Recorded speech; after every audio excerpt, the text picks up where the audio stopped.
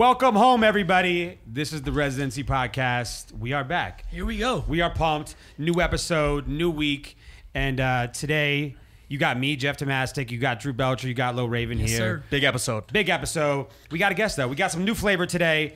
We got an incredible guest, world renowned celebrity chef, all around amazing guy. Uh, you've probably seen him a ton of time on Food Networks, on, on Chopped, a lot of other TV shows too. Partner and chef at some of the most popular restaurants in the country Vandal, Beauty and Essex in New York and LA, and here at Cosmo in Las Vegas. We got our boy Chris Santos here, Yes, man. I sir. really Welcome, appreciate you. How are you? Your dish Um, has been chopped. Yeah. You- yeah, your your hair is all intimidating. Me. Bring me into a room with three full heads of hair, and There already I feel like I'm under attack. You should have attack. worn hats. We didn't. We didn't do the hat thing. I feel like Ah, I'm yeah. under attack over here. Well, I mean, none of us can cook for shit, so you're good. Yeah, yeah, you yeah, got yeah, us that way. Okay, You went on that too. that. We're glad Lo didn't actually bring down the ponytail too. His hair is like yeah. a Oh, mile long. Luxurious. Yeah, yeah. Oh, yeah? got, Is it- is it's it- got flowy. It's got I, flowy. uh, I I had long hair. I'm a big metalhead from from the time I was about 12 years old. So I have pictures of myself from like high school and even early like culinary school days. I had my hair was like down That's my rad. waist, and I'll pull them out Oh, sometimes, yeah? and my kitchen will trip out. Like they're like, no way, because I've been bald since I'm like 28. Yeah. I'm 50. So um, so when, when I pull that out, people just like they lose That's their awesome. we got to see some of these photos. Yeah, Yeah, we we- gotta- we'll- we gotta we'll take a look later. photos. Yeah, yeah, Yeah, I sure. can pull them up. Okay, okay. I love that too.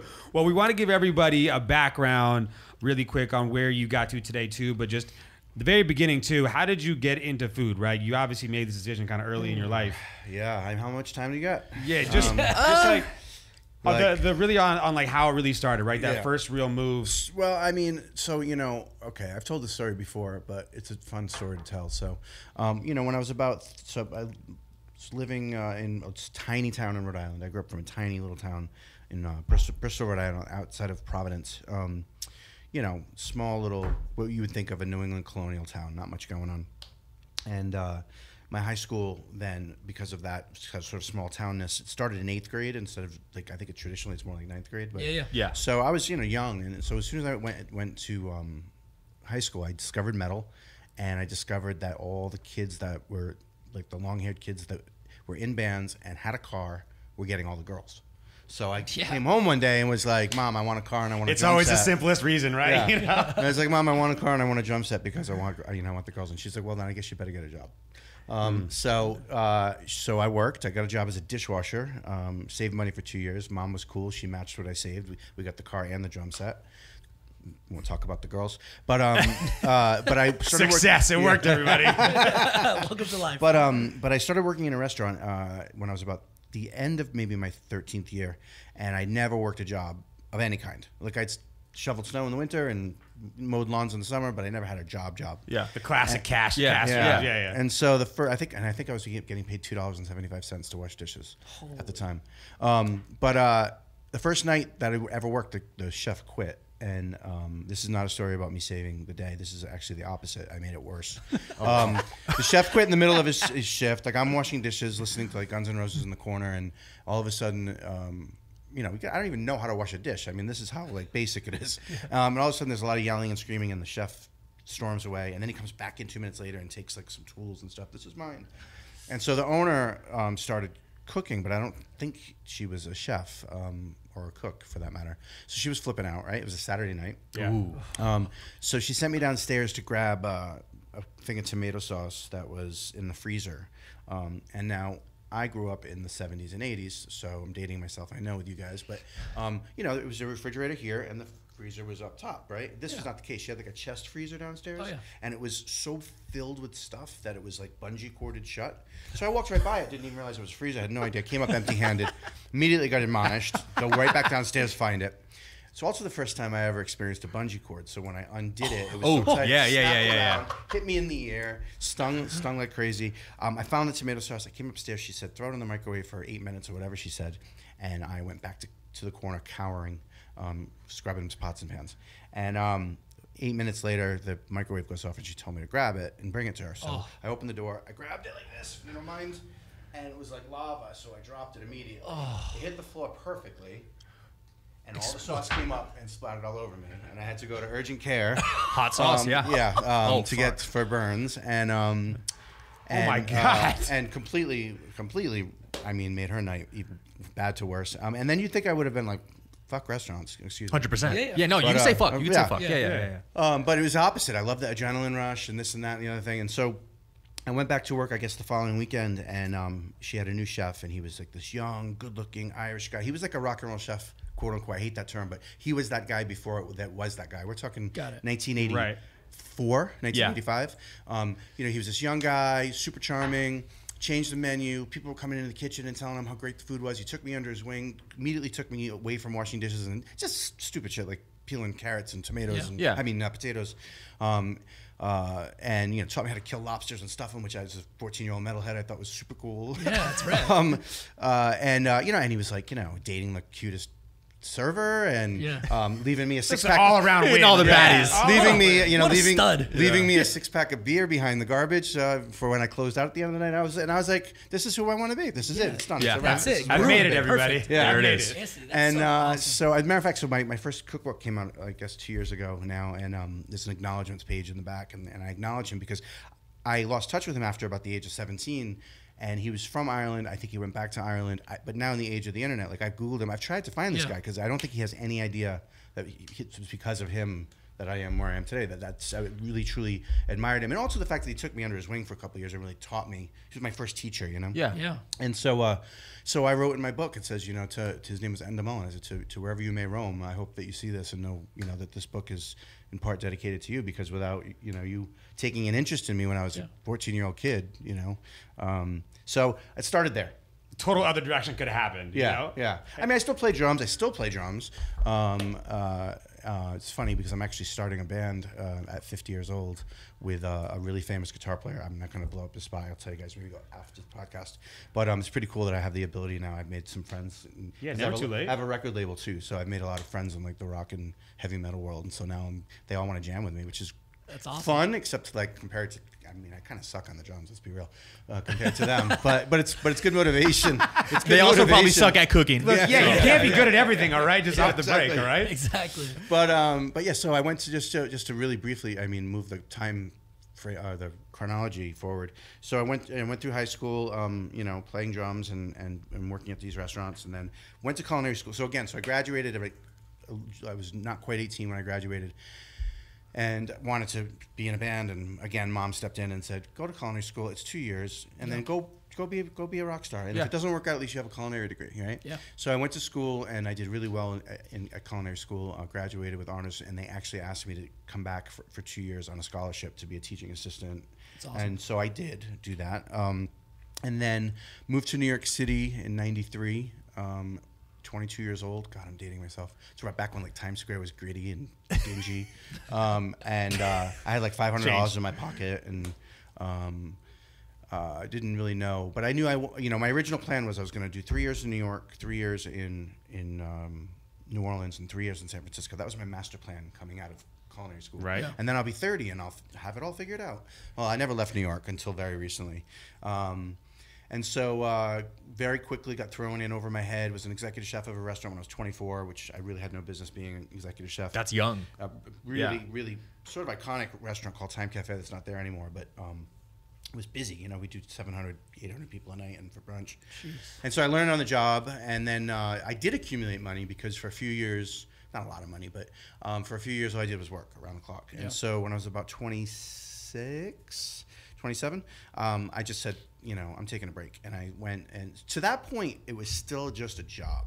I mean, I was good at it, successful at it, and I was having fun with it, but it didn't hadn't really sunk in yet. Like this is just what I'm gonna do. Yeah. You know, um, but then I went. So I, I took six months off, and I went and I backpacked through Europe. I went to 14 countries, 40 cities, and I didn't really work. I just ate. But the culture in the in the 90s of food in Europe. I think America's caught up in a big way in the last 20, 25 years, but it was different then. There was a much different divide in the just the, the passion for food. Like, like the way I would describe it is like in New York City at the time, or in any city in America at the time, you've got your really great restaurants, but then all the smaller kind of mom and pop restaurants were eh, they're not that good. Yeah. Sure. Whereas in Spain and Italy and Barcelona, it didn't matter if you were in, in one of the best, most renowned restaurants in the city, or just some Hole completely wall, out of the way hole in the wall. The reverence for the food was just unbelievable. awesome. And so I really came back energized um, from that experience. And so then I had a new goal in mind, which was I had to have my first restaurant open before I was 30. Anyone listening out there that might be um, an aspiring chef, do not try to open your first restaurant before you're 30.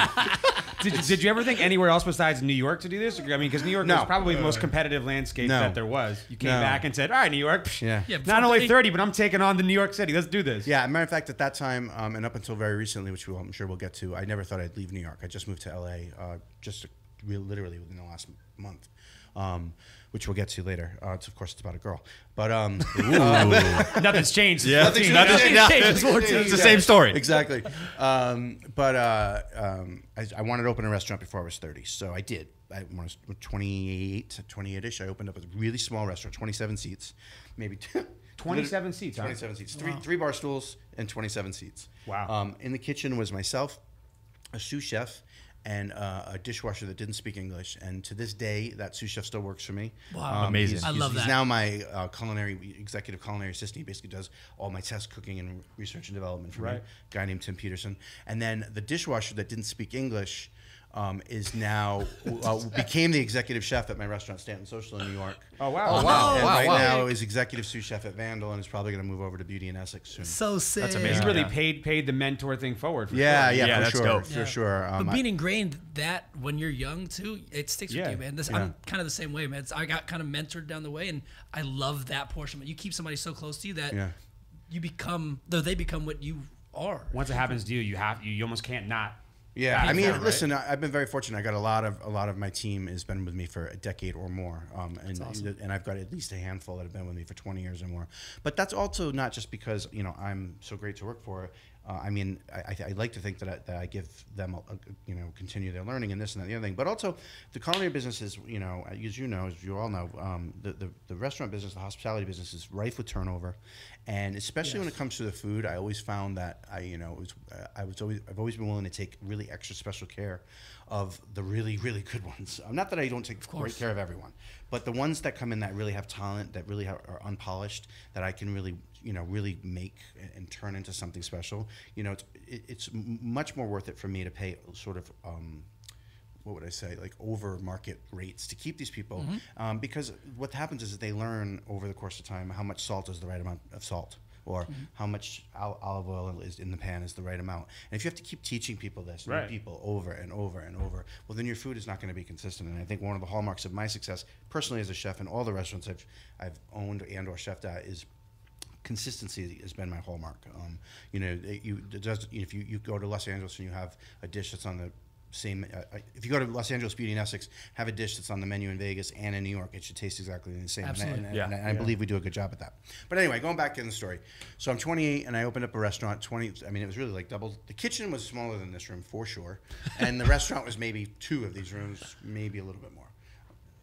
No, actually, about two of these rooms. As I can see, there's another room right next to me with glass, so I should have noticed that earlier. um, but um, so you know, we did really great. We, we were busy out of the gate. I got my first New York Times review by Sam Sifton. It was amazing. Um, uh, but I didn't know what I was doing, so I was hemorrhaging money. I couldn't pay myself some weeks. Some weeks I had to ask these guys that you know to pay them only a, you know, half of their, you know, I get you the other half on Tuesday. Sure. And uh, and it was in a, it was on it was in Little Italy in New York City, and it was in an old tenement building that was walk up. And um, when I built it, I didn't have any money. I don't come from money. Um, you know, I, I didn't have anybody to, to ask for money, so I, I built the place on a shoestring. So the exhaust system was really like the most basic model possible, and it was malfunctioning, and so. People's apartments were filling up with like gnarly smells, like the old grease and stuff. Yeah, yeah. And um, and also it's the hottest kitchen to this day. I mean, we're going back to 1998, 99, 2000. Um, still, the, without question, the hottest kitchen like ever. Yeah. you know what I mean. Um, I, I it, like it's funny. I don't know if you know what sous vide cooking is, but you know, sous Yeah, in the water, Yeah, right? yeah, Yeah, yeah, yeah, yeah. I mean, I wouldn't do this now, um, but 20 years ago, the kitchen was so hot that an hour before service, I would, you know, if we had, you know, again, we were a small restaurant, so I was talking about very small amounts of food that I needed. You know, if I had 50 reservations, you know, an hour before service, I would take out eight pieces of salmon and put it on a sheet tray, put it on a shelf, and it would sous vide itself in the kitchen. No. The kitchen was so hot. Yeah, yeah, and then I yeah, would yeah, just, yeah, And then yeah. I would just sear it and pan it Yeah, it. and, we're- you- and you're in the game. I mean, this is really what I was Yeah. doing. The, se- the secrets of what's really going down behind the walls. Yeah, it's Yeah. crazy, totally crazy. But anyway, so um, so I was getting a lot of complaints, um, and we had a club downstairs that was not. It was we worked together as a group, but we weren't partners. And the tenant, and so we also had a lot of lot of loud people outside smoking and stuff. So the neighbors were just not pleased. We had a neighbor, in fact, I'm, I'm not making this up. We had a neighbor, in fact, who would huck um, unopened cans of like Campbell's tomato soup at the line of people waiting to get in the club at like two o'clock in the morning. No. Yeah, it's really really fucked up. That's so dark. but anyway, so Adds to the experience. You know what I mean? You know, Duck. you want to eat here, you got to earn it. So um so the exhaust system's not working. My neighbors are pissed. I don't I can't do anything about it because I don't have it, two nickels to rub together. Um, and one day I go into work and turn flip the exhaust system on and it's just not working. It's not. I'm like, so I'm like, oh, what's, what's up with that? So I walk up the eight flight walk up in the middle of the summer and um and someone had disconnected the entire stack and there was an and it was lying in a pile in an alley. So there was no exhaust system. Without an exhaust system, you can't open. Yeah. So I closed for the month of August and uh, it was going to cost me ten thousand dollars to. This is before the internet. This is before I don't even. I think this was before cell phones. So I uh, I raised ten thousand dollars, like five hundred dollars from this friend. You know, 20, Right. It was like a, the original GoFundMe. Yeah, yeah, yeah, you yeah, yeah. Um, and then uh, and then um, you know, got it up and running, and then uh, on a Friday, went in with my sous chef and and uh, who's now my culinary assistant. We decided what we- you know we are going to rebuild the entire menu. Time Out magazine was like the big thing back then. Yeah. I called in a favor. They ran an ad. Wyandotte is coming back. Whatever. Um, and then uh, we get in, went in on a Monday. We spent like 16 hours there. We made the entire menu from scratch, and then we went to go open on Tuesday, and that Tuesday was 9/11. No. So, um, we never reopened. Wow. uh, is the sh- is the short story, but um, that was like devastating, obviously. And I was, you know, thirty. I was thirty. I was actually thirty at that point. Didn't have any money. Um, uh, you know, um, owed a lot of people a lot of money. Yeah, the Um, ten thousand plus. Yeah. You know, back in a day where, um, well, not just that, but like vendors and stuff. Oh yeah, for sure. And I was in Little Italy, and without getting too specific, it was back in a time where you know if you owed somebody money, you didn't pay up, you were Yeah, getting yeah. a visit at your house saying you got a month to pay me, or Yeah. you know, and that really happened to me. it's really weird um, story to tell, but uh, so I was like, you know, It's whatever it takes to get the restaurant open. You know what I'm uh, saying? but but at that point I was so devastated. I went. I actually had a really amazing experience from that, and that I went to go. I went and cooked at Ground Zero for two days. Um, Oh, wow. Which was a really an amazing, life changing, incredibly sad experience. Um, but I but when that was over, whatever, um, I was like, I'm coming. I called my mother and I was like, fuck this. I'm coming. I'm going back to Rhode Island. You know, I, Yeah. I, I can. And my mother was third time stepped up and said, "No way." She's like, "You want to come home for a week and hang out with me? That's cool." She's like, "But you're not. That's not the son I raised." She's like, "New York needs you more than ever." She's like, "Dust Love it, that, dust man. it Love off that. and get going." Yeah. And sure enough, about a week later, somebody called me. They had loved my food. Um, they were sad that my restaurant closed. They offered me a job as a chef uh, in a Spanish restaurant. I was there for a few years. Uh, meanwhile, I started scouting again. I got my courage up again to open a restaurant. Yeah. And uh, I had all this time uh, been friends with Rich Wolf, who is one of the, the co-founders of the Tao Group, Yep. and uh, we've been really very close for going on 30 years now. And um, right, yeah, well, 26. And so uh, we would have dinner every now and then, and we'd always kind of joke and say, "Why, you know, why haven't we done a restaurant together?" You know. Yeah. And he was opening, you know, he he, he, he um, founded Tao Group, and he opened Tao, and he opened Tao, came out here and opened Tao Vegas and Tao Beach. and Yeah. Tao nightclub, and then um, we decided to open up a restaurant called Stanton Social together that was separate of Tao Group, um, and we opened that on the Lower East Side, which was still pretty gritty in 2005. Um, it just closed last year because our uh, our lease our lease uh, ended, or our lease. Um, yeah, lease expired, and you know the, the, the, the neighborhood, partially because of us, has changed so much now that the, the asking price just didn't make sense. Yeah. So we're look, Sure. looking for a look, new location for that. Um, and then you know one thing led to another. Rich and I then took the success of Stanton Social and we created Beauty and Essex together. Um, and then um, we decided to do a Beauty and Essex here in Las Vegas. So that first one was like a partnership, like Tao Group and Chef Chris Santos present. But that first one in New York too went crazy. Oh, right? yeah, it was that crazy, was like. yeah. And what Yeah, year was that? The first one in New York? Yeah, well, you know, so here's kind of tying back to the other story in a way, spirit, you know, spiritually. Um, in 2005, I opened Stanton Social. Um, I had to invest money to open it. I didn't have that money. I had to borrow that money. So Yeah. I'm just it's an endless cycle of not having any money. Yeah. And I am determined to make this work. Hey, man. and then in 2010, I finally accumulated some money, and then I, in- with one check, signed it all over to the construction of Beauty and Essex. And I remember walking into Beauty and Essex, which was a block away from Stanton Social excuse me, and it had been an old furniture store, and it was like full of full. I mean, full, full, full, full of furniture that you ne- that, that you, you could barely get through the walk through the aisles. Well, once that was all cleared out, and it was gutted. I got a real sense of how big the place was, and I immediately panicked. I was like, first of all, how am I going to fill this place up? Right. Yeah. Second of all, if I do fill this place up, what am I doing to my other restaurant, which is right around the corner? Yeah, cannibalizing. Well, yeah. luckily, none of that happened. We were an instant hit from day one. We were slammed from day one. Stanton Social got busier as a result for some reason. Yep. Awesome. Um, and then f- that finally got me on my way. Um, and then so then we came out here. Uh, I kind of partnered with Tao Group um, to open Beauty in Essex. Uh, I couldn't have done it without them, quite frankly. And so then like, we started having the conversations about, well, why don't we, you know, we did another kind of part, like sort of not official, but in partnership, kind of did Vandal together. Yep. And then finally we decided, why don't we take these brands and just fold them? And so I became a partner in the Tao Group. Yeah. Then we opened Beauty in Essex in Los Angeles and Hollywood, along with a Tao there, um, and a highlight room, which is kind of an Yep. outdoor thing. Um, and so now I'm a partner in all the venues, although my my particular um, focus is to, is on the Beauty and Essex brands and also kind of research and development on some new brands and whatnot. course, sure. And then there's another chef partner in the company, Ralph Scamardella, who does an amazing job with the Tao and Lava brands and, and, and that kind of thing. So So did you would, was Vegas when that came up on the radar too? Were you excited about it? Was that like the first like all right cool we're gonna the second Beauty in Essex is gonna be Vegas like this is where it needs to be. Well, you know, when I knew one thing about Beauty in Essex, if anyone you know out there is listening has been there, it's such a beautiful, like pristine, like very feminine looking restaurant, and the, the Cosmo where we're at, like with the chandelier bar and everything, is like a perfect fit. Like Yeah, it almost dope. seems as if the Beauty and Essex was designed with the Cosmo in mind. You know what I mean? Yeah. So um, we are, it's re- been a really great partnership there. Um, we, we do very well there. You know, we're busy all the time, um, and uh, and people seem to love it. Um, and yeah, Who came up with it's the pawn shop part? Uh, that was well. I well. I mean, I think That's just like, it's such a crazy unique Yeah, thing. If you guys don't know, by the way, in the front of Beauty in Essex, there's a pawn shop. Yeah. Not like Yeah. oh my god, this looks like a pawn shop. Yeah. pawn No, shop. it's a pawn you shop. Can It's buy like a- any, you can buy anything that's there. yeah. I mean, I like. I mean, I want to say it was my idea, but Perfect.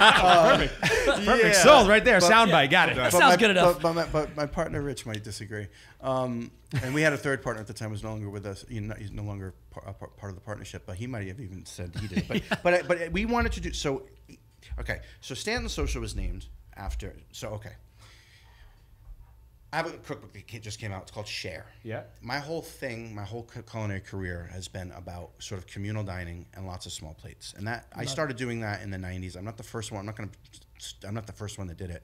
Um, but it always seemed like you know, for the system of ordering an appetizer, an entree, and a dessert, and I am having my own thing, and you're having your own thing, and you're having your own thing and having to only choose that one appetizer and that one entree and that one dessert, it, it, oh, I always made the connection in my head of like it would be me going to see again. I'm, a, I'm outing myself here, like as a metalhead, but it'd be like me like going to see Metallica, but they are only playing the same eight songs every night. Yeah. You know, or Yeah. or you know that's all I can listen to when I want to listen to Metallica is the same, and I have to have to choose from this. I, I I didn't like that, so I basically started doing menus that didn't have entrees. Everything was just small plates, and we can scale them larger for the size of the table. Right. Yeah. Um, and so Stanton Social was that was the spirit of Stanton Social was on Stanton Street, and it was a social kind Got of it. dining. So when we went to open Beauty in Essex, I wanted to do the same thing. Um, I did. I named those. I've named all our restaurants. Well, Vandal, Stanton Social, and Beauty in Essex. Anyway, um, I wanted to do the same thing, and um, and so we had the Essex part because it's on Essex Street. Right, right, there you go. but it was like, what, what are we going to call this place? You know what I mean? And so we didn't really know. And then we knew because Essex Street was very, very, very gritty at the time. Um, very like, just gritty. Um, not like 1990s gritty where you go to like score drugs, but it was not too far removed from that. It was a pretty, pretty grungy neighborhood. Right, right. Um, and so it was pretty ballsy to put a really beautiful kind of over the top restaurant there. Um, and so we knew we wanted to transport people into the restaurant and we wanted them to have like an experience in between from the grit to the to the to the to the glam. Yeah, yeah. Yep. Um, and so we were thinking, what can we do? And we were going to originally do for a long time. We were going with the idea of, a, of like a, a branded convenience store where we would have whatever our name ended up being. We would sell water and cigarettes and Yeah. whatever. Like a bodega style. kind But of we, thing. yeah, exactly. We're Yeah. gonna do a bodega.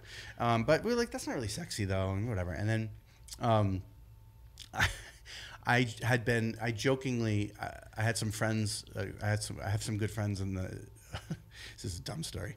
I have friends in the adult film, film in- industry, and we were joking about it. And I said, "Oh, we could do like a porn shop, like one of those sex toy shops, or whatever." Okay. But Not when a I- dumb story. No, it's but- great. that- but when- that- so when that'll I- get people to walk right by. but we should. We but should I said, that by could, I said that could be campy. You know what I mean? Like make you know keep it clean for for the, you know it's going to be a restaurant. You know keep it clean, but we could do a kind of clean riff on that. It could Yeah. be fun and campy. And as a matter of fact, there's a place now in LA, there's a bar called Adults Only that does that very thing, Oh, where wow. it looks like you're walking into like a um, the the X-rated VC like video section of, Yeah. a, of the old vi- video Yeah, stores. yeah, and yeah. then you walk through that, and then you're in the bar. It's Dope. pretty cool. So I, rad. I was thinking something like that. Yeah. So I said it to my partners, but they thought I said pawn. P A W N, and they're like, "That's oh, brilliant," and I was it. like, "It is brilliant, right?" And we probably spent we probably spent like three days. So who's ordering about- first, right? Yeah. Like I thought we were talking about one thing, and they Yeah. thought we were talking about something That's else. That's amazing. But once we decided on the pawn shop, P A W N, you know, we decided. Sends a to- mood board. It's a little bit different than everyone else's. you know. My deck is way different. Excuse me. Uh, Um, we then all of a sudden jewelry became a part of the. Um, you know, how do we make it rock and roll? whole And- aesthetic, and it yeah. was, so we have the guitars on the wall, but you know, jewelry became a big part of it. So then jewelry started all of a sudden in, um, informing the design of the restaurant. So if you walk around any beauty in Essex, you'll see so many nods to jewelry. Like all the big giant pieces over the couches are basically blown up pieces of like our grandmother's antiques brooches and, and bracelets and necklaces Yeah. and things, Yeah. um, which was really cool. And um, you know, uh, the locket room, you know, is the, the all the lockets that we have in the restaurants are, you know, were especially at the first one, and, and uh, as much as possible now, although everyone's busier, but they were all like hand found, like really true antique vintage lockets. So we kind of started that tie-in, and then that informed the name Beauty, right? Yeah. Beauty and Essex, right? I'm not sure. W- what that long answer, what the question was originally, but yeah, that that's the yeah. answer. Yeah. No, that's Um, great. and so, uh, you know, it's done very well. It's it's proven to be a great concept that people really love. Um, the food is great. I got a great team of chefs in every city. Uh, great team of not just chefs. I got a great team um, in every city. So we're definitely looking to expand into other cities with that with that concept. Um, that's Can we sort can we get a little inside info here? Who's what, what city? What I cities mean, look, in the just- running? I Like mean, top three. I mean, look, there's nothing that I can say that that's we don't have a lease signed anywhere, so uh, there's nothing concrete. But we would, you know, we have a town in Chicago now, Yeah. so it would make sense to follow that up. Um, and we all love Chicago. Yeah. Um, uh, you know, and then we there's other cities that we think about that we you know, we're not sure, like maybe Miami, maybe not Miami, maybe London, maybe not London. Yeah. Maybe maybe we keep we, we keep playfully talking about going into Canada, um, Man, Vancouver or Canada. Toronto. Toronto's Toronto, yeah. Yeah. man. Toronto or Yeah. Miami, yeah, for Yeah. sure. So who knows? for I mean, sure. uh, but but honestly, we don't got have options. anything- That's great, though. You know. And we, you know, obviously, we all we all had to, had to hit the pause button with this pandemic. Yeah, of course. Um, Right. You know, we as a company, we have over 50 restaurants and nightclubs um, across America and in Singapore and in Australia, Sydney, Australia, and we had to lay off almost 5,000 people, which is heartbreaking. yeah. Yeah. Um, you know, many of whom, like I said, We have been with me you. for Yeah. 20 years.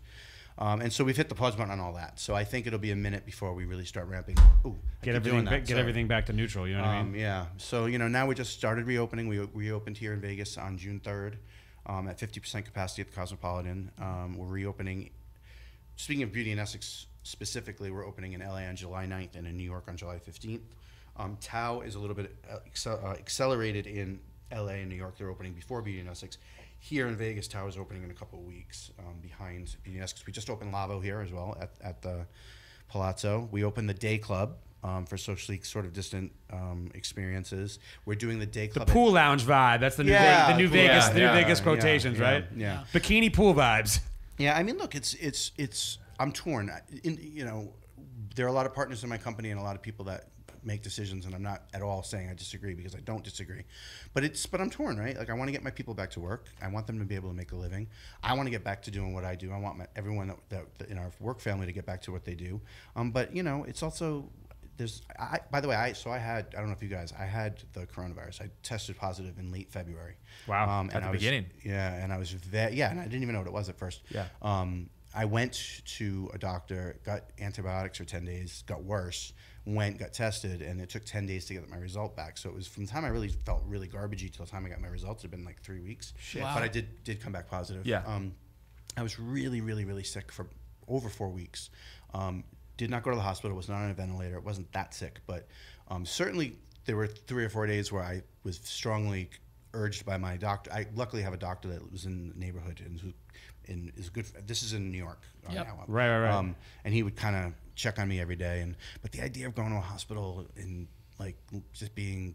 Ugh, just, I For sure. I hate him Yeah. too. Yeah. So every so when it was Especially really, at that time. Yeah, like, yeah. like but I mean, but I'll not tell you, it was, it was it was without question the sickest I've ever felt. Like I had the, the worst headache of my life for like two weeks.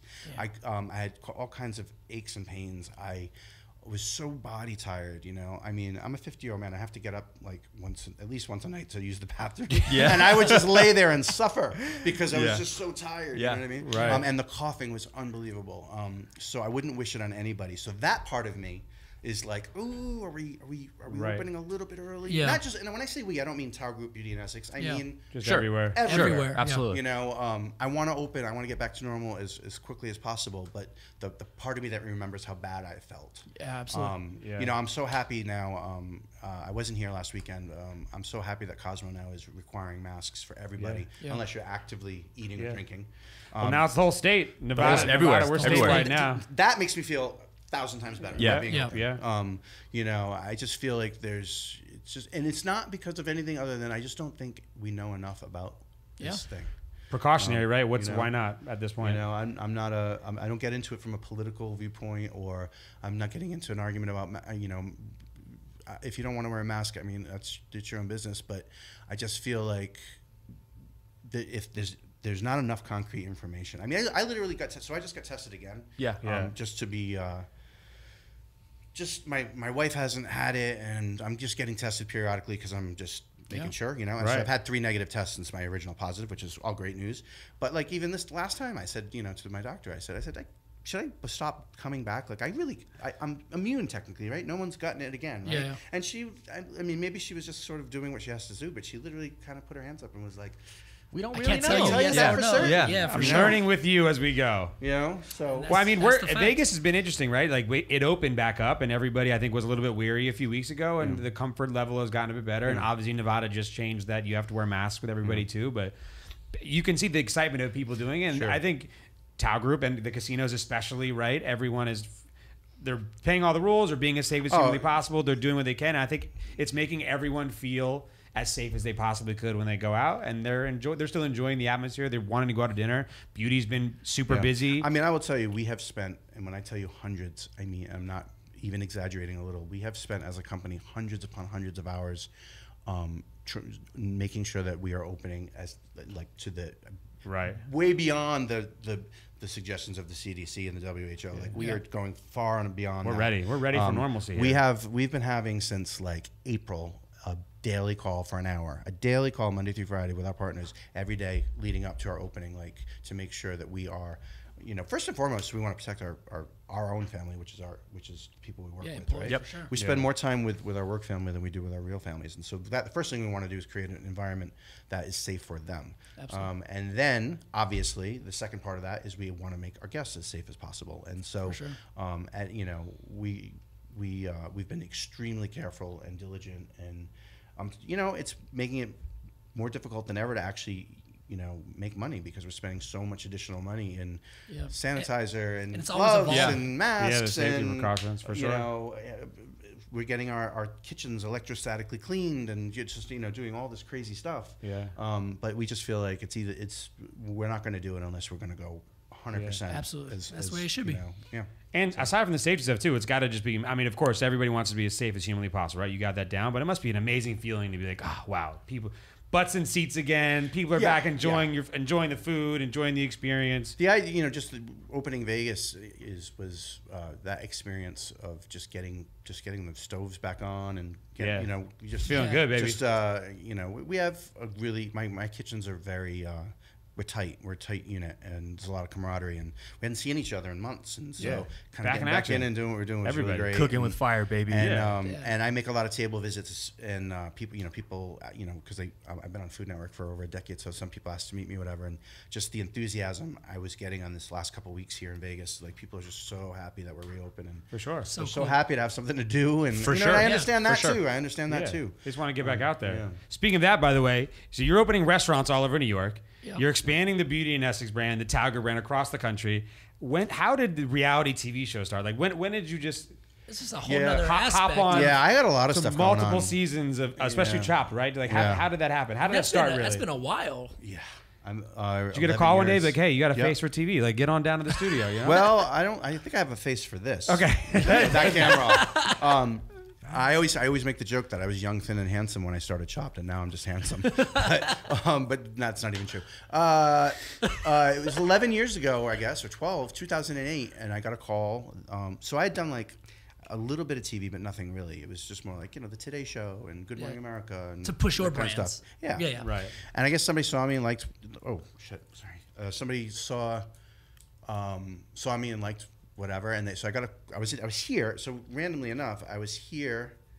It was 2008, and I was helping open Lavo when it first opened. Um, Gotcha. even though I wasn't part of the Tao Group, but my connection was Rich Wolf, With the Rich, co-founder. Right. And I so I had Stanton Social in New York, and they were getting ready to open Lavo, and they asked me to come out and help and support. So I was out here for, for just a few weeks. But while I was out here, I got the phone call like, um, we got this new show, Food Network would like you to come on and do three episodes. So I guess I'm not really sure. We're going back 12 years. If this is exactly the right story or the true story, but I guess my recollection is that everyone, a bunch of chefs got kind of like three episodes. Yeah. Yeah. And then the ones that that did well or that I guess test marketed Became well or whatever. Yeah. So they asked me to do. Uh, at first, they asked me to do you know a season, um, which is th- 13 episodes, and then you know then it was two seasons at a time, then it was three at a time, and now here we are, 11 years later, and we've done over 600 episodes. I've done almost. I've probably done about 220 of them. That's crazy. You've tasted a lot of dishes. A lot. What is your favorite dish and your least favorite dish Yeah. on Chopped? All right. Well, we're talking about 220 200. shows. First one that comes to mind. Like you're And like, we're all right. talking nine dishes per show. yeah, yeah, yeah. So we're talking over 2,000 dishes. Yeah. One of them's had to s- st- stick out. Um, Or a, yeah. well, Or maybe ate one chef that maybe impressed you the most, or one that was just My all the dishes just sucked. Me and my mom won the Mother's Day. Wow. There was a Mother's Day uh, edition, and it was uh, the judges and their moms against each other. That's awesome. And me and my mom won. Mom sounds incredible, by the way. yeah, too, yeah, yeah. Yeah, Yeah, that mom's was, a rock that star. was that was really an incredible experience to do that with her. But um, but I would say um, Gavin Kaysen um, did a, uh, a uh, a fish cheek dish. I couldn't tell you what it was. I just remember thinking he took a fish head that we gave them and he made this the most incredible dish. Um, I, I don't I don't remember the, the particulars. It probably is ten years ago now, but it was just unbelievable. Um, and then the worst dish. Um, That's crazy. Yeah. the worst dish isn't really. I, I'm not gonna. It's not the chef's fault. Um, so I don't like. So I'm allergic to shellfish, um, and so and so other things make me a little uncomfortable. Even Yeah. though I'm not allergic to them. Uh, like sea and sea urchin is one of them. They had that one has nothing to do with the other, but just for some reason sea urchin makes me uncomfortable. I also don't like it. Um, I don't like the texture of it. I don't like yeah, it either. uni is like. Yeah, I don't like it either. It's kind of Yeah, like yeah. then my, my, my never mind. It's the same texture. You, you could say it. You could say it. Not a banana fan. It's all right, guys. Yeah. Not a banana Fan. Not a banana fan. you know, I'm not a banana fan because we you don't like ha- uni either? You don't like the texture? No, it's, I'm not a banana fan because when I was a kid, we would keep them um, until they turned like that black color. Yeah. And and we wouldn't throw them away until it was weight. And I was like, anything that turns that color, I just I don't know. But anyway, It got ruined. anyway, Ah. um, but uh, uni uh, is just I don't like the texture of it. And Okay. so going back to the early days of Chopped, I was a little bit more. I've I've settled down quite a bit. Um, um, I haven't gotten married yet. I call her my wife, but we're getting married in October. Um, looking Congrats. to start a family. Yeah. We just got a puppy. The whole thing.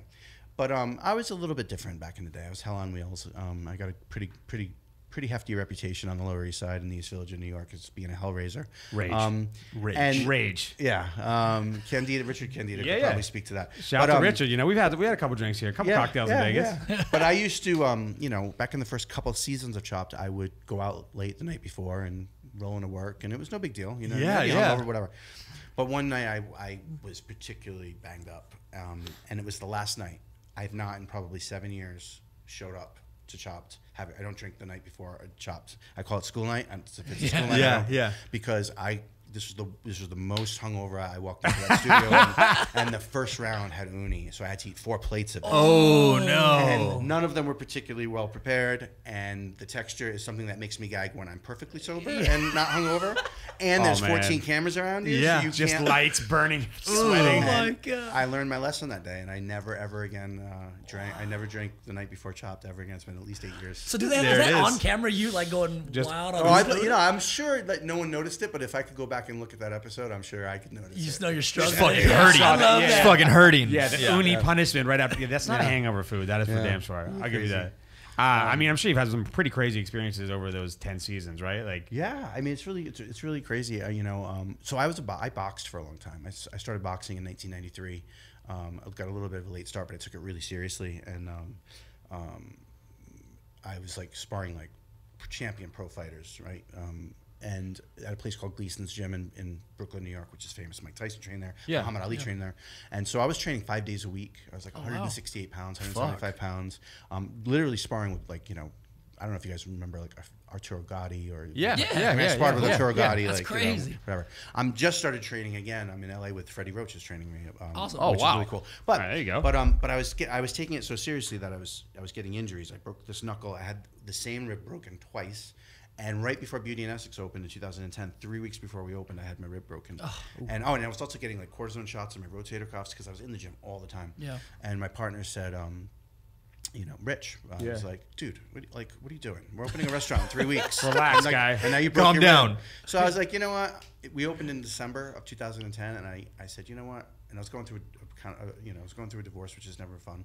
I said, you know what? I'm going to take 2011 off from the gym and just rest my body, focus on it, put all my energy into making this restaurant a success. yeah. Yeah. And one thing led to another, and I didn't get back into a gym until last year. One Oh, year wow. off turned into eight years off. Sure. And so I went from 175 pounds to 250 pounds. Um, I'm like 215 now. I've lost a lot of weight in the last year boxing.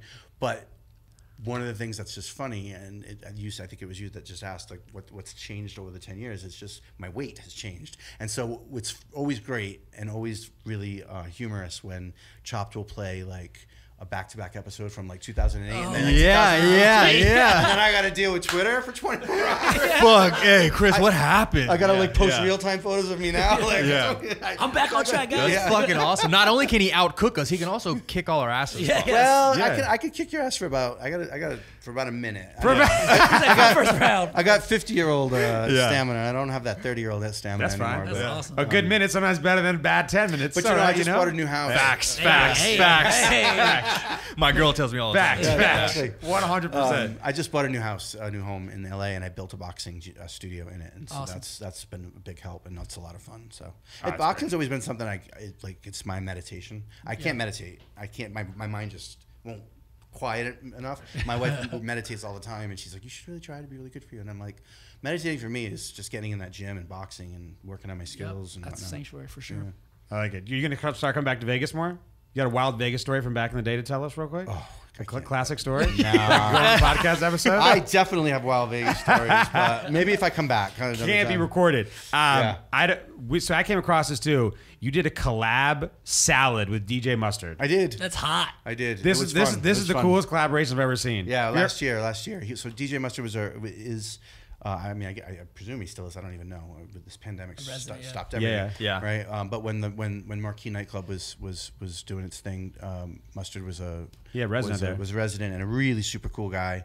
And he would come in and eat, and he loved the salad that I made him because he's he was on this health kick, and um, Yeah. so we decided to kind of collaborate. And he told me what he, you know, I said, "What would your what would your dream salad be?" And he he started listing these ingredients off, and I said, "Well, we should do something fun with it." And so we did. We kind of did this rad. video of me cooking him. That's I have, fucking I cool. I have some great photos on my phone of him like taking a bite and then like giving me like the most, the warmest, most genuine hug because he was so happy Yeah. what was going on in his mouth. so Like, cool. Um, so that was really fun. Um, I've had a lot of good experiences, you know, in. Um, I'm like a D-list celebrity, right? Meaning, and I'm I'm not being self-deprecating. It's just true. If you watch Food Network, you can get really, really excited to to see me. Um, if you don't watch Food Network, uh, you, I, I get a lot of side eyes. Like I recognize that guy. Ah, Yeah, who's this guy? seen him on Twitter. Yeah. But you know, but it, be, I've just it's weird because of it. There are these unexpected fans that of the show that become your friends. You know what I mean? Like I, you know, I grew up in the '70s, late '70s, early '80s. You know, I got turned on to hard rock and heavy metal by Kiss. And now Paul Stanley from Kiss is a huge Chop fan, and now him and I are friends. You know what I mean? We That's so out each other fucking so cool. it's Yeah. cool, Yeah, you that's know? fucking really cool. But I'll, t- I'll tell you a funny story. So, do you guys watch Food Network at all? Yeah, yeah. Okay. So I'm in Vegas, and um, it's probably two years ago. And every now and then you'll get the fan that just like flips out and, and starts like uh, like, starts crying. Yeah. It's happened men and women. Um, actually, I did a thing at Tao Beach last year for Inks magazine, and uh, and some dude started crying, got on his knees, hands and knees when he met me. It was the weirdest thing. but um, but, but but it was sweet, I guess. Thank you. Um, Very sweet, but- Very sweet. That's very cool. it. Yeah. but anyway, so you know, every now and then, I would say a couple times a year, and I've also had. I mean, we, I could talk all day. I've had stalkers. I've had to put somebody on a no-fly no. list and list with the um, the FBI had to get involved. This guy that was stalking me and threatening my wife at the time, my mother, myself. Um, it's a long story, but uh, but anyway, I, every now and then I get these fans that just like lose it when they meet me, and it's it's it's very sweet. Um, and and I'm, and I'm always happy to. I mean, I'm, I'm in. I, to say I'm blessed and I'm not like a super religious guy, but say I'm so fortunate to be on on Food Network and on that show would be an understatement because I love my work family there. I learned so much there. Um, you know, it's great for visibility. It's great for our brand. Yeah. Yeah, for Um. Yeah. You know, it pays some bills. It's really Yep. good. You know, um, but so there, there are some super fans, and so I'm coming. It's in Vegas, and I had gone out. Uh, I hit the roulette tables, won some money, so of course went directly to Sapphire, and Yes. um, and then um, came back at like four or five o'clock in the morning, and was just going to my room, and um, uh, I stay at the Cosmo when I'm here, and uh, there these four or five young women were approaching me, and one of them had the moment, like she's just like, "Oh my God, you're the Food Network guy!" and tears and all this stuff, and so I'm hugging her and you know, when we're taking pictures and it's all cool. And then um, when it's finally over, I'm like, all right, have a, have a great weekend. You know, if you want to come eat tomorrow night, uh, blah, blah, blah, blah. Um, as we're starting to like part ways, um, I hear the girl who was actually taking, the young woman who was actually taking the photos, like, I don't get it. Who was that? And the woman who had been crying and everything goes, that's the Ace of Cakes guy. Oh, shit. Oh, man! Oh whoa. Definitely not buddy. Yeah, yeah, yeah, yeah. yeah. I thought I was dumb. Oh my god, dude. Crying the whole thing. Maybe it's because it was four or five in the morning. You know? Yeah, I was Just like, woo. Yeah. all right. You know, that's the old roller coaster of emotion. They're like, oh wow, that was a bit. What? Yeah. Got him up. Hey man, stole one from you. Sorry about that. You know, totally got you. Did you take the photo by the way? I took the photo, yeah. I didn't break it to her. I didn't gonna say, ah, it's not me. I Yeah, no, you're like, fuck it. I'm just gonna gonna let him tag roll with it. in the- Yeah, Yeah, yeah. for sure. I can bake a cake. I mean, it won't be as good, but I can bake a cake. You tried. Fuck That's it. fucking hilarious. Oh my god. Okay, well, I mean, that's been the only time, the only mistake, celebrity, celebrity sighting mistake, maybe. Um, weirdly, I get, I get both. It depends on what shape I'm in. My, you know, my shape kind of fluctuates. um, I get Dana White sometimes, and I get Joe Rogan sometimes, which is interesting. wow. 'cause I of could both- see both of those, especially Yeah. if I'm a little fucked up. I could Yeah. be like, yeah, for sure. Yeah, for sure. From sure. a distance, like, oh, it's yeah, Dana. Five in the morning. Yeah. What's up, Dana? What's going on, Yeah, man? yeah, yeah. Or Joe Rogan for sure with the tattoos. Yeah, that's about it. Though. Especially in Vegas. Yeah. In Vegas for sure. You never know what you're gonna see in Vegas. What are It's some so weird too. This is my this this this hat. I always wear a hat. Um, the only time I don't wear a hat is in bed and on, on the set of Chopped. Other than that, I've got a million hats. Yeah. Um, I'm kind of known for this one I wear all the time that, that I'm not wearing today. It's kind of a trademark, but I always wear hats, and it's like it's like a, it's literally like people will be like, and, and they're like, "Are you?" And then I go, and then it is. it's like the most incredible. Take thing. it off. Yeah. One like- second. yeah. Yeah. what are some uh, some must get dishes for people who have never been to Beauty and Essex that they sure. have to get? Oh, I got a fave there for Uh, Yeah, I do here too. in Vegas specifically. Yeah. Yeah. yeah. So, um, so we have the, the sort of the most iconic dish is um, it has kind of comes with a good story too that also involves drinking. Um, is the the grilled cheese and tomato soup. That's my dumplings. The dumplings. Yeah. So That's my yeah. favorite. So when I opened Stanton Social, um, Stanton Social, we decided that we wanted a menu that was no entrees whatsoever. We wanted everything to be shareable, and we wanted to hit all the classics. Right? We wanted a burger, we wanted a pizza, we wanted a taco, we wanted this, we wanted a that, mm. we wanted a soup. I was like, how are you gonna make soup shareable? You know what I mean? Like, Yeah. And so we decided to maybe do soup dumplings, and we, I came up with this French onion soup dumpling that people went bananas over. It ended up on Food Network's Greatest Things I Ever Ate, and blah blah blah. Very iconic dish. So when we get to Open Beauty and Essex, of course, it was like, well, you got to do another soup dumpling. So we tried all these different ones, and some were good, some were some were terrible. Clam uh, clam chowder dumplings were not, not good. Um, That's a pass, bro. That's a pass. Yeah, okay, Yeah, brainstorming. yeah, Let's keep it yeah. going, guys. um, but you know, my favorite thing to kind of nosh on if I have a little bit of a hangover is, especially in the winter, was always to get there's a di- there's a my, my favorite diner in New York just does this great grilled cheese sandwich with tomato soup. Yeah. on top. Yeah. So we were all we had all gone out, um, you know, the night before. My chefs, you know, we we, we, we typically. I mean, again, we're talking about 2010. Things have changed. Yeah. But at that time, we typically we were, definitely a, a work hard, play hard kind of bunch. Yeah. So we would work all day, and then We would go hit the bars and shoot Yeah, pool we all night. that You know what I mean?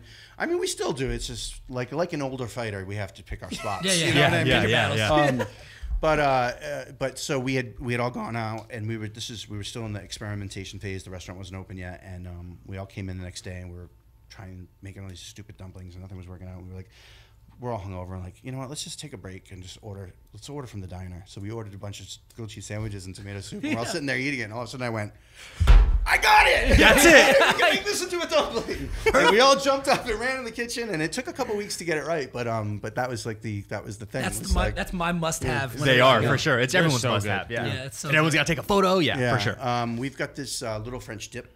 Uh, it's kind of like a op- open face kind of. It's like a it's like a crostini, I, I guess in in foundation, but it's it's modeled after like the famous California Los Angeles French dip sandwich with like au jus poured table sides. It's really really delicious. It's got a horseradish aioli. It's a really simple dish, but really packs a lot of a lot of punch. Um, you know, we've got we've got we're known for our steaks. I mean.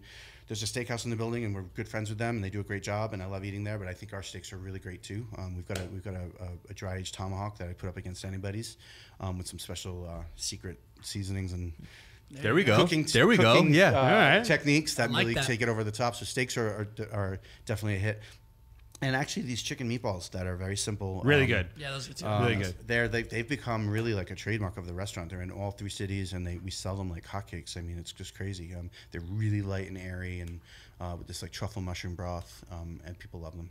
So, and our desserts, we have this Wonder Wheel that's kind of a showstopper. It's looks like a Ferris wheel. See it on It's all- Instagram. Yeah, I've seen it. I've seen it. So that's a that's a must-have um, as well. So. That's a great photo moment. So we were talking about earlier too uh, in New York for Vandal. What's the, what's the what's the feature for Vandal coming right now too? Well, you know, I I think it's probably fair to say that Vandal's going to live to fight another day, but in a different location. Cool. Um, the location that we have is, is a little rough around the edges, um, and it's in an area of town that was kind of struggling. Not just us, but just the whole area um, uh, was struggling pre-pandemic. Yeah.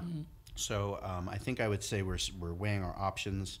Um, we definitely want to. Um, it's a great brand, and um, you know uh, the, the design, if you've ever seen it, is really over the top and amazing. And um, you know our food really um, evolved. We kind of started doing street food, but we kind of got away from that. Um, and the, the last year that we were open, I felt like it was some of the best food that you know I, we've ever created. Um, but the, the, the area of town is just very difficult. Um, it's just it's hard to describe because I know that if we were located, um, you know, in meatpacking district or if we were located in other areas of the city, like there'd be no issues. Right. Just it's just in a kind of a sketchy, it's kind of in a sketchy neighborhood. So so we I think we um, are sort of on the.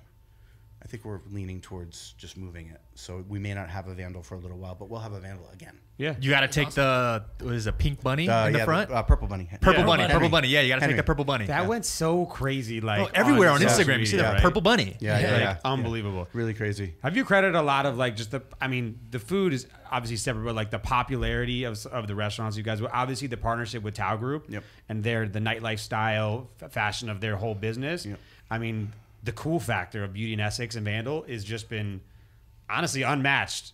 Like in, insane. especially Yeah. in multiple cities, right? Yeah. It's really difficult to make. Sometimes restaurants really cool one place and not really so much the other two. But mm. Beauty in New York and Vegas and LA, See and be seen. yeah, is just Yeah. Well, one of the things that's that's happened that I've noticed since I joined the group, I think, and you know, this is going to sound like one of those things that I'm saying just to, to, to say it, but but I but I really truly mean it. Is that the bigger we get and the larger we get and the more venues that we open, the more we continue internally to double down and triple down on um, hospitality as our as our as our leading light, even even above you know food focus or whatever. It's about hospitality and giving guests a really special experience and making guests feel really welcome because we exist in markets that you have a million choices, right? I mean, look at Las Vegas. Look at just the Cosmopolitan, for instance. Yeah, Uh, you know, exactly. on the floor that BJS Just is that on, third floor you is got insane. STK, you got Jaleo, you got you know all Endless. these restaurants, Zuma Endless. Scarpetta, it's crazy. you know, and so anyone that chooses us, you know, that's a that's a gift. And so if you're choosing us, we want to make sure that we're giving you, you know, we're giving you every every penny's worth. You know what I mean? And so we kind of get we we kind of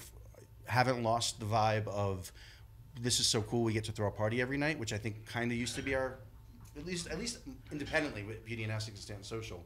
It was like you know oh, we get to throw a party every night and oh yeah, the food is good the food's good and, and, you know and you get good Food's chill, service too, yeah. and it's a party you know what I mean and, and I think we've turned that more into you know every we're, we're just as a company our ethos is really to, going more towards being just incredibly hospitable hospitable and and and um, having the party be kind of the Oh, and there's also a party and then going it on. ends Right, up right. being Yeah. a it's kind of yeah. you know our, our perspective has flipped a little bit, and I think that that's I think that's noticeable, and I think that that's going to be a huge key to long term success. absolutely. That's great. Because you know, as companies grow, it's and, and uh, it's any company in any industry, I would imagine. You know, chain, big box, grocery stores. I don't know. Like the, the more you, the bigger you get, it's it's harder to keep your eye on the ball, and it's easy to lose focus. And I, we we are really like we remind ourselves. Every, like I said, we have a partner call every day. We remind ourselves every day that it's about hospitality. It's about the guest, and Yeah. you know, without them, we're nothing.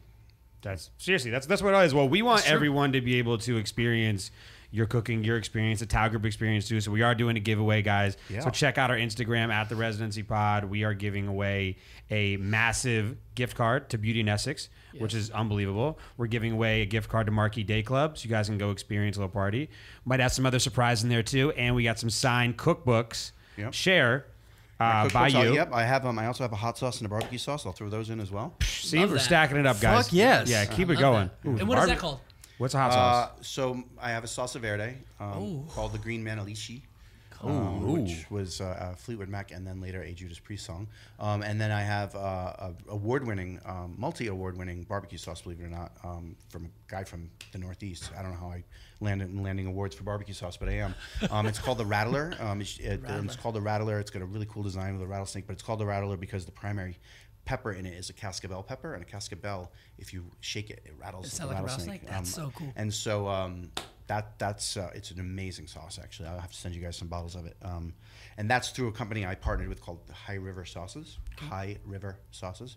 Um, so if you anyone out there wants to check it out, just go to highriversauces.com and you can you can buy my my sauces or the, the High River makes amazing hot sauces as well. Yeah. Nice. All right, so you're so the winner's gonna get. We might have some other surprise things being Yeah, added no too. shit. But you're getting dialed in with all sorts of stuff. By the way, thank you for adding those two. Thank you for getting everyone. To, we want everyone to experience what you've been talking about this whole time too. Shout out to our friends at Tao Group, Richard Candido for helping putting this together today too. Mike Snediger. Yeah. Um, Sneddy. And, and also, I'll even go so far as to say, um, you know, I'm easily found on Instagram at Santos Cooks is my handle. And if uh, whoever wins our giveaway, um, I can't make any promises. I'm all over the place. But if I happen to be in Vegas the weekend that they choose, like I'll get personally involved. Like, Come I'll, say hi. I'll hang out with them. I'll have a I drink love with them that. at Marquee Day Club. Come Like, we'll do the whole on. thing. there you love go. that. See, now the experience is getting. We wild, might just yeah. absolutely have to Yeah. rig this one. We're and we'll rigging have this drinks one. at We're gonna Marquee come Day. eat, Yeah. drink, and Yeah. come hang out with you. At, We'll just put hats on. You won't recognize us you know, the whole time. Uh, so we do do this really cool recommendation segment at the end too. It's called Eat It, Drink It, Binge It, where we give people recommendations on what or where to eat, what or where to drink, and then Binge It is kind of like it could be a TV show, a podcast, YouTube channel, anything you want to. People that you something that you think is really cool to, for uh, people to binge. Uh, we'll start, so you have a little chance to do. But I think for your Eat It, we definitely want to hear some Vegas recommendations, obviously outside of Beauty and Essex that you think Yeah. are, are amazing. Some of your favorites. Yeah, sure. Um, I'll start. I'll start with my eat it too. Um, so, like two years ago, we went to a party and someone had truffle honey in there, and we tried it. And my wife and I have been completely addicted to it. And she just bought. There was like these small ones too. She just bought this pot. Of truffle honey, and anything with truffle is amazing. Yo, it is crazy, but she eats it now like by the spoonful. You're a it's big truffle unbelievable. guy. Big truffle guy. What do you put it on? Truff everything, Dude. crackers. Thin. Get Yeah. some get some pizza dough. Make it or buy it. Gr- roll it out really thin. Put it on your. You got a grill, like a barbecue. Yeah. Put it on your grill. Thin thin crust. Fresh apples, goat cheese, truffle honey. oh, Wow, there it is. There it is. Hey, babe, I'm coming home with Babe, some I'm heat coming right now, too. Don't you worry. I'm going to try to figure it out, but I got the grill part and the truffle honey part. I'll figure out the middle stuff. He said, "He said pizza dough, make it or buy it." He's Yeah. for sure buying it. yeah, for sure. He's not There's no way making he's a fucking that. pizza dough, dude. Guys, don't tell my secrets yet, dude. This is homemade. Uh, all right, what do you got? What do you What do you So eating, low? I just got back from Miami. Okay. Um, and I didn't get any Cuban food like I usually do. So in the airport, I stopped at Cafe Versailles and got like a Cuban sandwich. Got the ham and cheese croquetas, and like that's my Yeah, thing. I, You have to have those in Miami. So I literally had to do the airport side of it because I was on the way out. But you do a little Cuban dances while you're in Miami too. You know, what I was doing a lot of everything in Miami. It was, it was fun. Your Instagram story was wild. Was kinda was hot. wild. It was kind of for sure. I was living my best post quarantine codish life. Now they close. Yeah. Now you closed it down. Yeah, I, you clo- I shut it shut down. that bitch down. I Shut it shut down. Miami down. Shut it down. All right, Drew. What are you eating? Uh, yeah. So yesterday was my lady and I's six-year anniversary. Congratulations. Happy anniversary. Some Thank you. beautiful posts on social media. They were great, right? That too. was You guys are super heartwarming. sentimental. Thank you. It was nice. Yeah. Uh, we also recently just had a baby two months ago. wow, congratulations. Thank you. Uh, during the pandemic, He's this been- is all about me right he's now. He's been busy. Uh, so it was our anniversary. We couldn't go anywhere. Obviously, we had the kid. It's obviously still kind of quarantine-ish, but had some takeout from Echo and Rig. I Okay. told you guys a little Yeah. earlier. Yeah. Great local steakhouse. Have you been? Uh, so Echo and Rig got some ribeyes to go, a whole bunch of sides, some dessert to go. Got home, the steaks cut in raw. Oh no. absolutely fucking raw. Oh, not man. medium rare, not even medium, not even like a Pittsburgh, like just a quick sear. blue. Raw on the Okay. inside. So I had to go up to my rooftop, Yeah. turn the barbecue on. I had to finish cooking the fucking So steaks. you made Echo and Rig. I had Echo and Rig take home to go where I had to finish cooking. Restaurant prices. And still paid full price. yeah. So thought can this so, supposed- so can someone order from the steakhouse and send it to you and then order it again too and pay double the price? Can be arranged. Okay. Can be arranged. All right, listeners, you got this. That Um, doesn't sound like much of a recommendation. Yeah, yeah, yeah. No, no, it's Boy. just it's just what I ate. yeah. That was my eat it. Uh, um, all right, made so at home Echo what, Rig. What are your what are your like go to Vegas spots? Obviously, besides the the beauty and the tiger Um, spots. Well, it's been a minute um, since I've eaten here because of this whole thing. But Le Thai downtown, Oh, is yeah. Phenomenal. Great fa- spot. That's Yeah. like my favorite spot in the city. Um, and but for the last um, in 2020 pre-COVID, every single weekend that I came out here, often both nights, Friday and Saturday, I f- have been finding myself going to Best Friend specifically for their fried bologna sandwich, Hey. which is I've never had it. Fire. That's like the one thing I Um, haven't had. Fi- it sounds so dumb, right? Fried bologna sandwich, but I'm telling you, it's like crazy. And I've been bringing like my sous chefs with me, like one at a time, like you, Taking them, treating you them, have yeah. the sandwich, and they're like, "Chef, what is wrong with you? It's a fucking bologna sandwich." And then they get it, and they're like, "Oh my god, Fried bologna sandwich, huh? it's really great." Dude, now I'm gonna have to try. Best it. Friend's cool. You know, Best Friends Vegas is kind of like used and abused a, a lot of concepts, right? Yeah. Because there's so many casinos, right? You have your normal steakhouse, Italian, this, that, whatever. And Korean barbecue was never really a Yeah. staple that they did too. So Best Friend found like a cool niche. Hopefully, it, it comes out after the the, Yeah. the COVID right too. But But yeah, it's like It's a great feeling there too. epic great. spot, yeah, yeah, Yeah, it's cool. Yeah. experience is Yeah, it awesome. super hood fucking rap. yeah, yeah. It's dope as there. fuck. Yeah, everyone's DJ in. And um Yeah. and you know I used to have to go to Nashville to get Hattie Hattie B's hot chicken, and now Oh, it's yeah. right there at Cosmo, and Yep. they do a good job. It's you, you, I mean, it's not the same as you know you go to Nashville, you got to wait in line for an hour. You're in Nashville, it's 11 a.m. and you're drinking. It's totally different. But here, you know, at the end of the shift, I'll go down sometimes and get a hot chicken sandwich, and That's it, awesome. they have done a good job of replicating. Like it's exactly the same as as it. right. Okay, I haven't eaten there Nashville, either. so- No, I gotta it's try like that. Hattie fine. B's? Yeah, yeah. I've had both crack. in Yeah. Cosmo and Nashville. Oh, so, wow. I think that I think they're if you close your eyes, you wouldn't know. Yeah. It's awesome. I got to dial that in. I like that too. Fried bologna sandwich. Okay. Yeah, I, I want to try that too. It's fucking good. Okay. Uh, my drink it, um, dude. The other day, I'm not a huge white wine guy.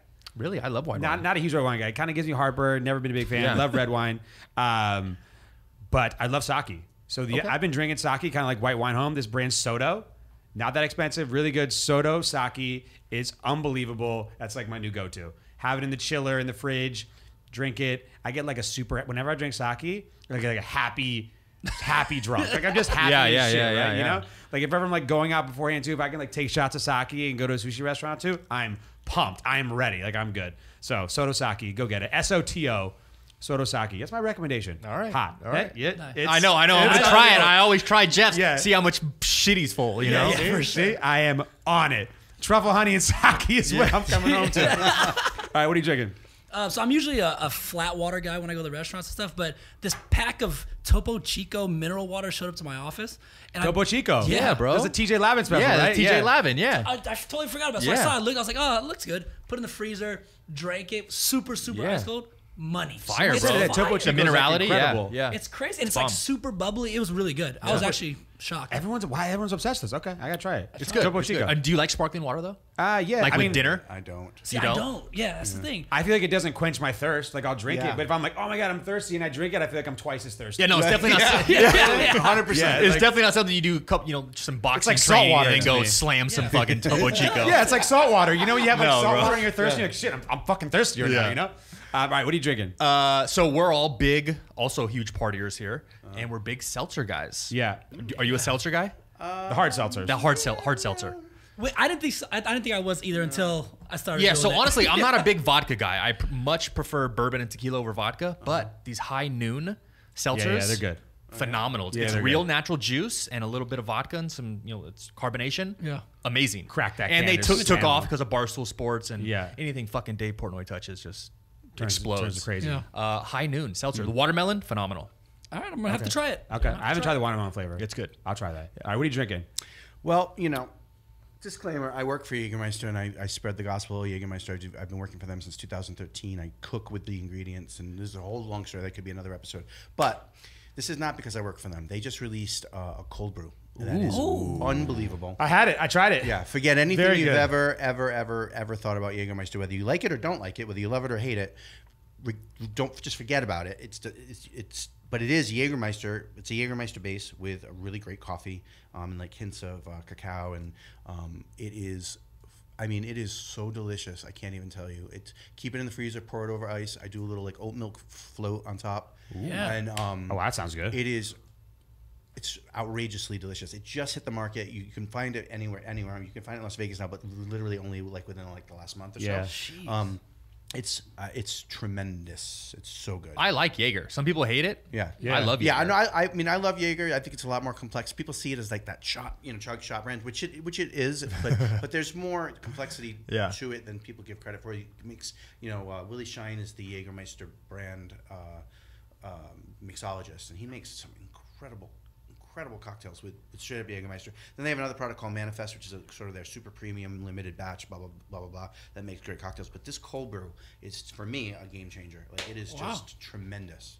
It's good. delicious. I'm gonna have to get that one Yeah. too. Yeah, I'm gonna try Especially when it's like like like Jaeger when it's super cold. Yeah. it was really good. Yeah. Yeah, um, I like it. Well, binge it. My binge it. Besides chop with my guy over here, um, I want to do a food one too. I love watching. You watch the Hot Ones on First We Feast. Yeah, all the Complex? time. Yeah, yeah, yeah. You're watching people. Watching people. Look, I'm. I am not an amazing hot sauce eater, right? Like if it's really, really spicy, like you, I- I'm sitting there, I'm miserable, I'm sweating, like my face is good too. Like I'm not going to the Thai place ordering a nine or anything like that too. You know? No, I, I like will physically eat a ghost pepper. Oh. I know. Oh. I MC a ghost pepper eating contest every year in New York at the at the Hot Sauce Expo. Oh. Uh, that's insane. Sounds Yeah. terrible. To Well, I don't. pass. I don't know why. It's so funny to me to watch this show and watch people eat hot sauce and be miserable. That's fucking hilarious. Yeah, yeah, yeah. I think it's complete gold. Like if you th- if you look at it in retrospect, like wow, what a genius idea. Interview celebrities and make them eat hot sauce during the interview and see what they can get out of their mouth. That's the whole point. It's yeah, yeah, it's fucking crazy. I, I like binged a ton of their episodes and just was laughing my ass off too. So if you haven't seen it, it's called Hot Ones. Uh, it's like on Complex's YouTube, First We Feast. Yeah. super good. Nice, nice. And they have a reality show now too. I On- uh, on TV, yeah. yeah, yeah, Yeah, yeah. yeah, yeah. Uh, uh, yeah, uh, like a game show. Yep, So yeah. they bring in like people and they make them eat. They do like hot sauce competitions. That's incredible. And so they really blew up. What do you What do you got? So I'm usually very like I watch something motivating or inspiring. This time, not at all. Okay, Give me the trash. Yeah, I've been watching this stupid thing called Floor is Lava on Netflix. Have you Oh my seen this God. stupid thing? The fuck is that? I just like I used to watch like Wipeout when people would like do these dumb things, with jump Yeah, on yeah. balls and fall over the fucking. It was like the number one show on Netflix, whatever, like overnight, right? Yeah, so it's floor is Yeah. lava. It's basically it's like a big pool of water, and like you have to try to traverse all these things, but people just eat shit. It's like the funniest thing. Yeah, So, just jump over. Simple laughs. Simple laughs. Simple laughs. Look, So guys, that- it's that's been, what I've been It's watching. been a tough few months. Sometimes we got to It's dial been it tough. I need to smile. Yeah. Yeah. What do you binging? I'm the king of the trash. You Oh, guys man. know that. Uh, no, no, no. But I took up. I think it was your recommendation, the Jeffrey Epstein. Yeah, Island. yeah. Yeah. Oh yeah. That shit was fucking crazy. Crazy. that it went on for so long, untouchable. I never Yeah. watched it. M- watch it. Have you watched it? No. It's super But I like sketchy that looking. stuff. Yeah, Yeah, yeah. fucking mind blowing. Yeah, yeah. Jeffrey Epstein, filthy. Rich. Everyone, Yeah. everyone Yeah. who New York, watched it said it, it was Miami, just Bahamas. they can't believe how it took so long for him to Oh get. yeah, like- dude, untouchable. Yeah, Did like you see Abducted in Plain Sight? No, I no. watched it on Netflix. On Netflix, It's about abducted this- in plain sight. This woman who gets Oh, kidnapped from twice. London, right? No, or no, overseas? here, here, here, okay. You got to. It's crazy. But anyway, Should get twice. okay, yeah, it's crazy. double recommendation. Abducted in plain All right. sight. Probably the boom. craziest thing I've ever seen. Um, What do you binge right now that someone should watch um, well, or I- listen or to read or, or- read no, or I whatever? just, I just bin- we just binged um, Dead to Me on Netflix. okay, Okay. that's a good Um, show. Yeah. with um, Christina Applegate, Applegate. and Yep. Linda Yeah. Cardellini, um, which is amazing. Like uh, everything's a nail biter and it's suspenseful. Um, and then we are right now, uh, r- right now, binge watching every night. We saw three of episodes late, late last night. Um, we are into, really, we're really into procedurals like Law and, Law and Order and Chicago PD. Yeah, yeah, But yeah, There's yeah. one on Amazon called Bosch. Bosch. Um, that is kind of I never had really heard of it, and um, but I love it. It's like they're about well, as soon as this pandemic is over, they're gonna film their seventh and final season. So it's had legs. Um, It started out in like 2014. It was totally off my radar. Um, we started watching it. We're I think we're just about at the end of season three now. Um, it's a super gritty. It's set in L.A. It's super gritty, like hardcore, like police drama, like like a Law and Order, Chicago PD. But because it's on Amazon Prime, they can curse, which makes it so much more. Oh, there we go. I need some fuckery. So you know what I mean? much more Yeah. realistic. Yeah. Yeah. You know what I mean? I need the F-bombs. People The get NBC murdered ones. and like you know. Gosh yeah. dang it, police officer! I'm Yeah. upset. yeah. Um, but the acting is great. Um, and one thing that they have that they are not. I don't want to like spoiler alert, but I will spoil alert a little bit. Um, they are not afraid to kill off somebody really important that I love way that. early. Yeah, yeah, yeah. Completely unexpected. It's the best. Like Gotta we've had brain. three, three in three seasons. We've had three jump off the couch like, what? The main guy, dude. Right? Yeah, yeah. Like it's really crazy. You need you need those though too. You need to get your mind blown. That's yeah, like, little, like, little no Game of way. Thrones. yeah, like. Game of Yeah. Thrones season one. Yeah. The, the main dude dies. Yeah. Like, what the fuck is Yeah, this? what the fuck is this show, Yeah. dude? You're just gonna So- kill your own show? I highly recommend it. Bosch. Bosch, I got it. Bosch, Amazon. Amazon. Amazon, Amazon. Yeah. All right, Amazon. Guys, thank you very much for checking back in with us again. The reviews, subscribing, everything at the Residency Pod for the giveaway. Check us out too. Chris, man, Santos, you were incredible too. Appreciate at you, Santos Cooks for his Instagram. Check it out. Beauty and Essex. Go eat there immediately. Share the cookbook. Go buy it. And eat. congratulations pre to our pre winner. Pre congratulations to our winner who's about to win this crazy giveaway. Check us out at the Residency Pod. Take us to See you dinner later. with you. We're-